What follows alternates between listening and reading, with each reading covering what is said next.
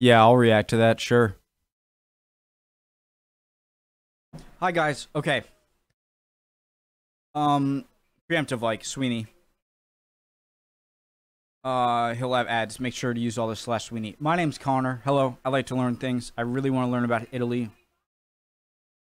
Or not uh, uh, learning that's misleading. I want to learn about what happened on the Italian peninsula post Justin post Roman Empire, post West, you know, post Justinian, uh, like 900 all the way up. But I'm, I really want to focus on like not year 900, maybe 800 to 1400 right now. I think would be good. But but I, I, that's just coming off the top of my head. Anyways, I'm excited. Great channel. Preemptive like. Did I say my name's Connor? I'm all over the place. Original link to the video, top of the description, right under that link to the Discord. Click on it. Send over there. Love to have you. I've had too much coffee. I can tell by how fast I'm talking. Okay, let's go. This episode is sponsored by Squarespace and is part of Operation Odysseus, the largest collaboration of history channels on YouTube. Today, 17 other fantastic YouTube channels have released a video on this collaboration on naval history, a playlist of which can be found in a link below.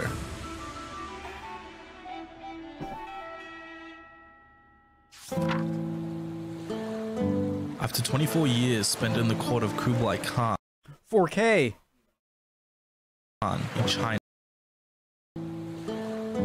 After 24 years spent in the court of Kublai Khan in China, an aged and immeasurably wealthy Marco Polo returns to his native homeland in Venice. He finds the city's martial banner raised, with St. Mark's Lion holding a sword instead of a Bible. Venice is at war. Polo is captured by the enemy, Genoa, and from his prison cell, he writes of his adventures in the Far East. Yeah, that's so. So he went away, came back, was like, "Hey guys, I'm back," only to just get arrested right away. And um, obviously, hard to put yourself into that time with that communication. I have to stop talking. One of the best intros.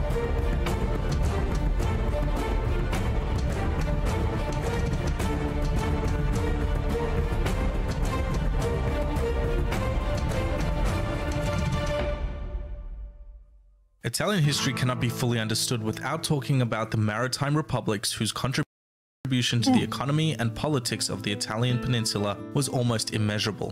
Chief among them were the megalithic trade rivals Genoa and Venice. And here to help me talk a bit about this topic is Blue from Overly Sarcastic Productions. Say hi, Blue. Hey everyone, and thank you, James, for having me on the channel. Although I have to ask, where's my mouth? No problem at all. Can't wait to get started. And sweet Viennese pastries, what happened to my arms? Blue will also be doing a video on Venice and how it became an unrivaled maritime power.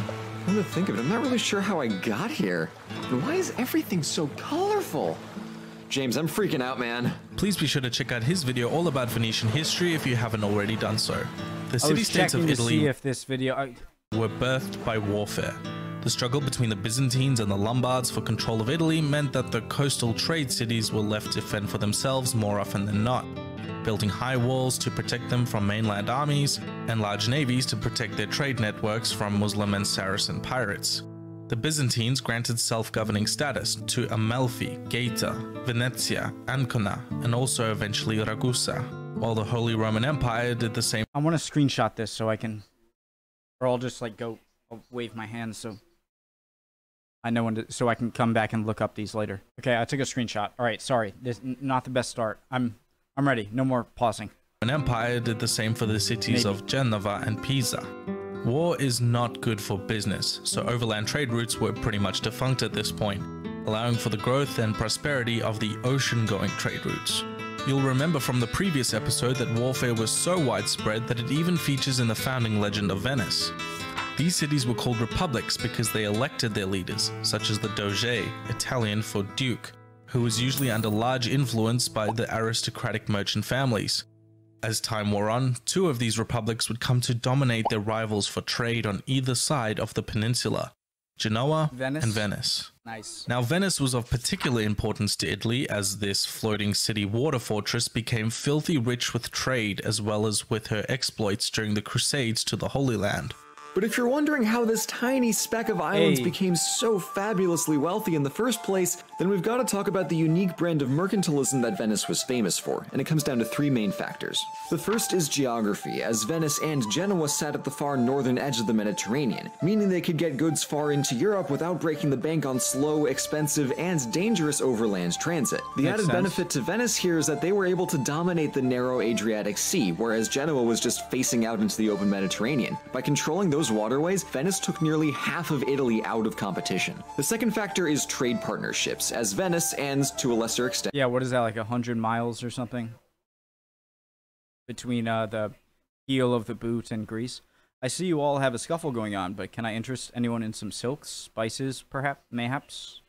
Genoa too was tolerant and cooperative with merchants in the Muslim world even during the Crusades. In addition to that, since Venice was a direct offshoot of the Byzantine Empire, the two were buddy-buddy from the very start. Genoa also had these relationships, but it always played second fiddle because it was smack in the middle of major European powers and all of the wars they fought with each other, making Venice the safer option to bet on with regards to trade. The last factor, and the one that really puts it over the edge for Venice, was their government. Even though both cities were run by a republic, It's a classic case of market economy versus command economy, where either private or state parties determine how the economy will function and who benefits most.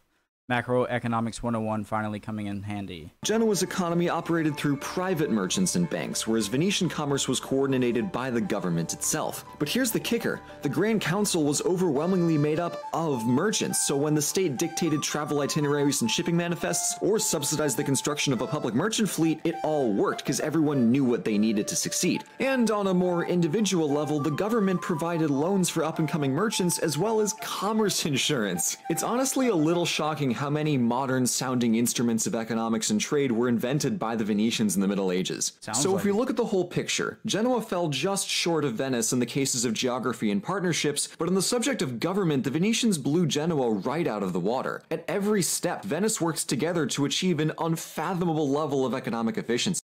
It's no mistake that 50 years after the last Venetian Genoese war, Venice looked like this, while Genoa got eaten by the Holy Roman Empire. Okay.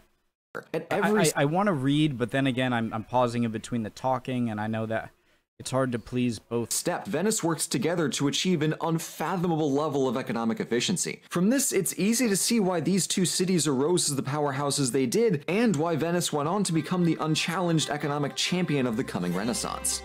Hey, thanks for your help, Is that Blue. where Columbus Anytime. was from? Talking about all this Venetian history helps justify those years of suffering in economics classes. Now, if you'll excuse me, I need to go um, find my arms. Later. So why are Genoa and Venice so important to understanding Italian history? Firstly, they became the economic powerhouse of the eastern and western Mediterranean respectively, subsuming the influence of the other republics until they eventually were butting heads with each other. They were also the go-to shipbuilders for crusaders, meaning they had a huge impact on the campaigns to the Holy Land, only further expanding their influence. The trade networks were so vast that it is thought that the Genoese trading station of Caffa brought the Black Death to Europe on the rats that lived in the hulls of merchant ships.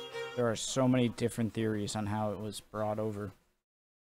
Uh, the Venetians are gonna have a hard time with uh, Austria, though, when it becomes a thing. Aust- Genoese bankers became the most elite in Europe and even became a pawn for the ambitions of other states for control over Italy, including most famously the House of Aragon and France. Arguably the most famous Genoan was Cristoforo Colombo, Hey. a sailor and navigator who pioneered the use of a navigation technique called dead reckoning to try and find a western route to India, eventually discovering the New World, previously unknown to Europeans. Venice, on the other hand, had fared much better in the Middle Ages.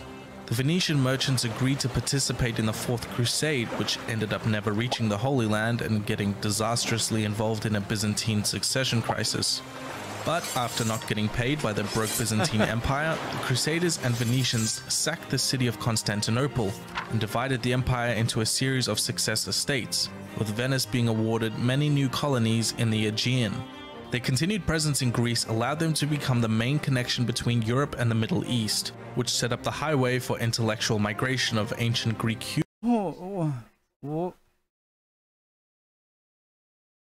Empire, the Crusaders and Venetians sacked the city of Constantinople and divided the empire into a series of successive Venetians sacked So, but but after not getting paid by the broke Byzantine Empire, the Crusaders and Venetians sacked the city of Constantinople and divided the empire into a series of successor states, with Venice being awarded many new colonies in the Aegean. Their continued presence in Greece allowed them to become the main connection between Europe and the Middle East, which set up the highway for intellectual migration of ancient Greek humanism that would lead to the Renaissance. Okay, the reason I was confused is because I, I didn't know if he just said that Venice got control over Constantinople, but it, it got a lot of posts in the Aegean. Okay. These trade routes were largely kept open when Constantinople fell to the Ottomans, and the Italian city states started taking in thousands of intellectual refugees from the formerly Roman territory.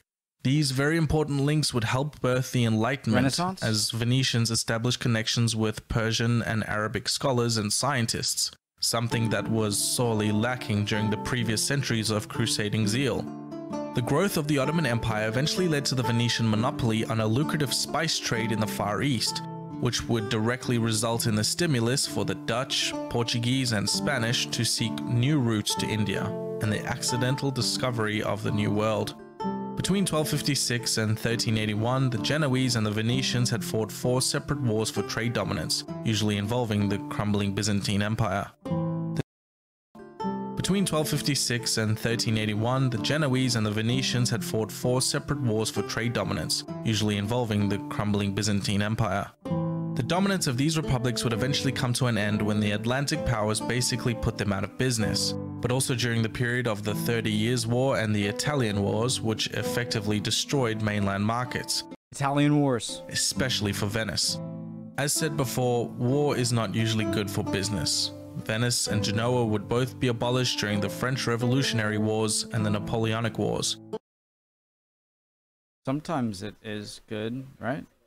and Genoa would both be abolished during the French Revolutionary Wars and the Napoleonic Wars, when they became dominated by the rising European powers of France and Austria in 1797. This video is part of Operation Odysseus, and you can find a playlist linked to Blue's video on Overly Sarcastic Productions on screen now. Or you can keep on the lookout for this banner on your favorite YouTube history channels to check out this awesome 17 channel collaboration. Guys, make sure to squarespace.com slash Suibhne if you do it. Awesome. Amazing. Amazing. I feel like I've had a lot of these uh, history videos in the past few days that have been huge, uh, what I call fog, uh, fog of war clearers, like connecting certain things around Europe so that I can kind of understand European history. You know, I'm, I'm trying to from, you know, Alexander the Great up until modern day. And I'm not saying I, I plan to be an expert anytime soon in any indi- individual area, but I'd like to.